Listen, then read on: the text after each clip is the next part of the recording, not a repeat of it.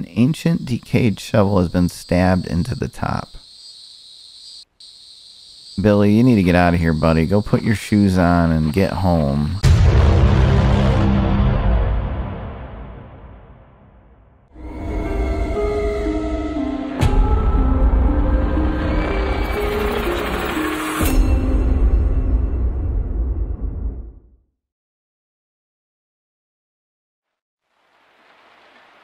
Hello YouTube, it's Balimore here back again with more Blind Gaming and a new LP for the channel. Hooray! This one's called Into the Woods for the PC of course. I'll put a link as usual down below in the description. You can check it out for yourselves. It's a free to play indie horror game from a giant pile of indie horror games I'm bringing to you guys. And uh, yeah, free. So I mean, you can't go wrong with that. I saw good things about it, but I also saw that this game was supposedly pretty dark. So that's kind of cool. It's going to be one of those weird indie horror games. And I wanted to play this with a controller, like some of the, you know, third person. You know, this isn't looking down, but it's like Resident Evil kind of third person, not over the shoulder, which I know that's a third person, but I mean, let's be honest, that's really not third person. Over the shoulder is almost first person. I think my buddy can agree with me on that one. Uh, and he's a big Resident Evil fan. But you play this little kid, and I think we end up in the woods, just like the title says. But why don't we um, quickly go to the website itself and see what the story says it's supposed to be. Okay, into the woods. Bury the birds, they will fly through the dirt. A short five minute experience visually inspired by the aesthetics of PS1 survival horror games. Okay, that sounds pretty cool. So let's get back to the game. Okay, here we are. We're playing Billy. I'm just going to call him Billy. That's usually a stereotype little boy's name. So what is little Billy doing here? Various shelves crammed full of books and toys. Okay, typical boys' room. What we got over here? Okay, can't do anything with that. See a magazine or something on my bed. That it? The latest game magazine? An open book is lying face down on the bed. It's cool how you can interact and everything. So anyways, I'm not going to use the, the joypad, my Xbox controller, because you can only use the directional pad, and it it felt weird. I like the keyboard. It's just, you know, WASD along with the left click. And you can run, so I forgot. Sprint. Oh, never mind. Tab. You got an inventory? Okay, it is Resident Evil kind of looking. Oh yeah, they even have the door animation. Wow, that is loud. Uh, that was there. The flower wallpaper. There's no need to enter this door right now. wonder if that's the same door. Yeah, it was.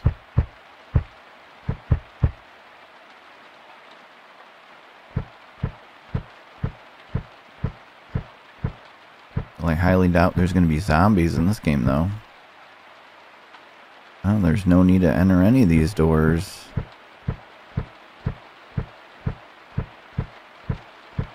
Come on. Oh, I got to click. Oh, they have the Resident Evil stare animation, too. Is that how I walk? It's like I'm sleepwalking the rate I'm going. Oh, wow.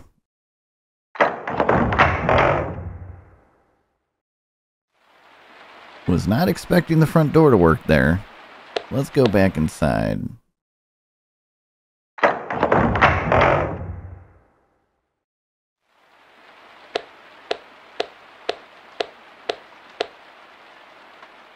Okay, no need to go in that door.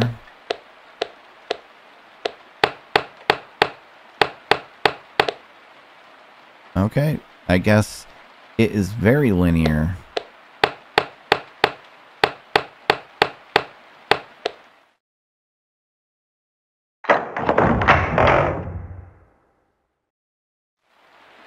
Okay, I see a shovel. Oh, it even makes the ground noise. Oh, we're barefoot, aren't we? Yeah, I think we are barefoot.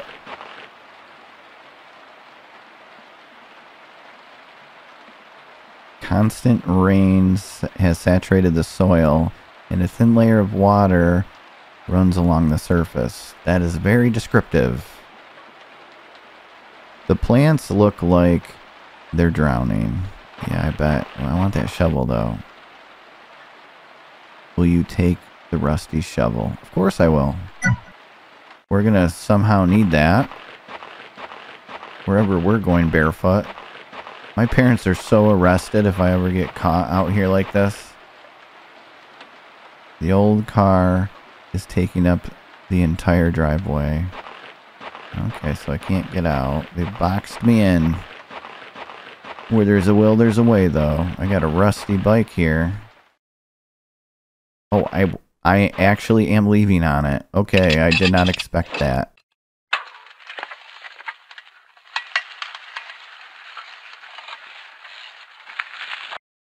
Man, I'm determined. The heck did I drive to? Or ride my bike to? The bicycle looks as if it might fall apart if you stare at it any longer. Oh god. Thankfully, you don't need it where you're going. Leave it here for the rust and woods to devour. What kind of talk is this for a little kid? Why didn't you put shoes on? Can we go on the road? I mean, if you're going to kill yourself, which is what they're kind of insinuating, why don't you just go lay in the road? This is weird. Is that a thing? What is this?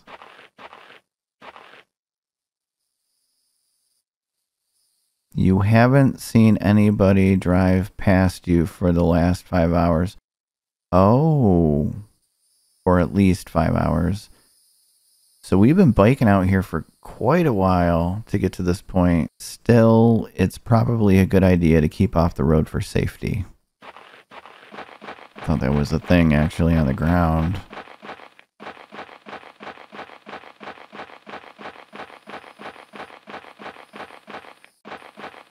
Oh, here's a uh, passageway. Oh boy. So I have a shovel. What am I going to do? What did it say in the beginning? Like the birds will fly out of the dirt? Something like that. Very weird. I like these weird games. Like I'm trying to understand before it tells me. Sometimes I get it right, but then like I have no idea. The birds will fly out of the dirt. This is quite a Quite a path. Oh, I gotta click, right? Yeah, slip right through that the tree line here. Ooh, I hear something.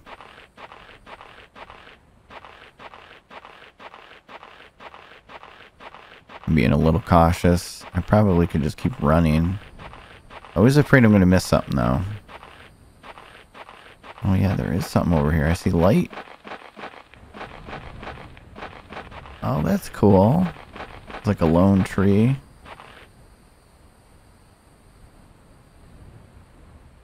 Oh, we're on like a, a peak or something. Not quite a peak, but we're way up. The ground suddenly gives way to reveal an expanse of forested valley far, far below. So we are way up. I like that though. It's pretty cool. It's like the morning, uh, the morning sky because we've been biking for a while.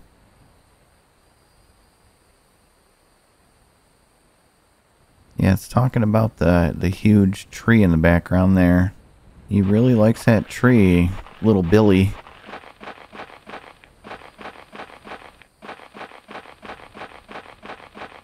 It's got to be like our little like hideaway spot. Maybe our parents are fighting and this is our way of escape. And we go out and we start digging or something. Yeah, that's got to be what it is. It's not total, uh, total demonic rituals or anything we're going to walk into. Or, I mean, maybe this kid is going to do something bad. Oh. There's a lot of shovels. I probably come here a lot.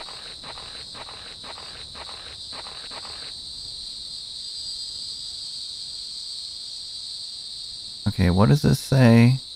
A mound of compacted earth juts from the ground like some kind of strange tremor. Tumor. I'm sorry, tumor. It's quite the language for a little kid. An ancient decayed shovel has been stabbed into the top. Billy, you need to get out of here, buddy. Go put your shoes on and get home. Um, looks like the same thing.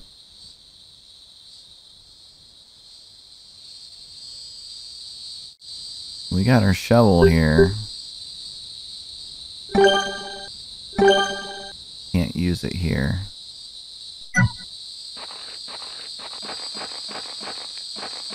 Guess we're going this way.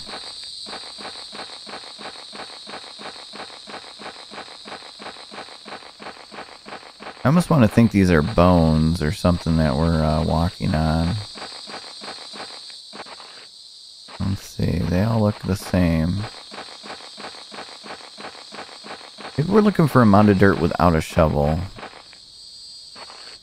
Uh, let's go over this way. Oh, here we go.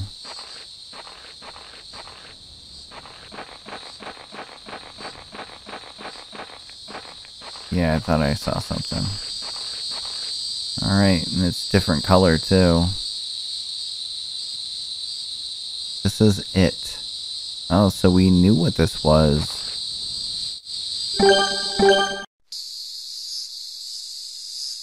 Oh, we're digging. So that's why we brought it, to dig something up. This is definitely weird. I don't know, it's not like real dark or anything. Well, I guess it kind of is dark. Did he say we won't need the bike where we're going? Oh.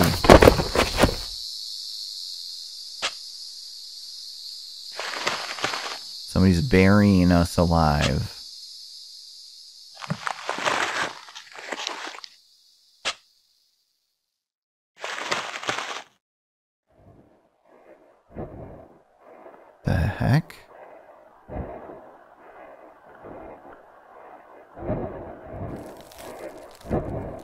Roots?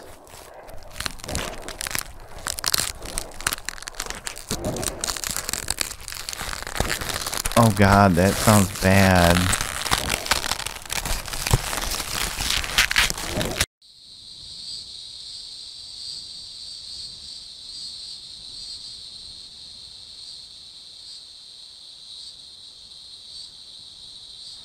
Okay guys, so that was Into the Woods for the PC. Let me know what you guys thought in the comments below. That was dark. Okay, I'll admit it, that was dark. So yeah, it was weird. I don't want my bike. I won't need it where I'm going and then he ends up digging his grave. Somebody knocks him into it, and then after he gets buried pretty quickly, it sounded like that giant tree spread its roots in there and probably started puncturing through him, and that's how the tree lived was it fed off human nutrients or something like little children. And he was brainwashed. He was just like walk out of the house, biked five hours, and then walked over to give himself up. It's it's pretty messed up. I don't know anything else about the story, just what I saw, and uh, it is it's different, that's for sure. But I liked it. It it runs really good. There were no bugs. It didn't crash. It didn't glitch, judder, anything like that. It was really nice experience. Not too bad though. Not too bad. So now we will move on to the next one. I can't believe we beat yet another one. Hey, I'm as excited as you guys sound, believe me. Um, joking aside, you know, beating games as a blind person with no center vision is like a big triumph for me. So I always do feel good, you know, want to celebrate after every little game. It's kind of a, I don't know, what's the word for it? Like a milestone, you know, that I kind of crossed. So no matter what's wrong with you, how I look at it, you know, if you're paralyzed, and only your toes work and you start painting pictures. You ever see that on TV on like Discovery Channel? You got people that are really, really disabled, like hardcore, and they're like doing professional painting or writing and they're using, you know, just like their toes or something. It's really cool to see that kind of stuff. So I am nowhere near that bad. I've only just got the center vision that's gone, but you know, it's important to me that I can still play games because I always enjoyed games and uh, I can still beat them. And this wasn't hard by any means. It's not even a challenge, but still, it's, it's pretty cool to be able to beat a game. So, with that being said, thanks so much for watching, guys, and I'll see you on the next one. Until then, as always, later.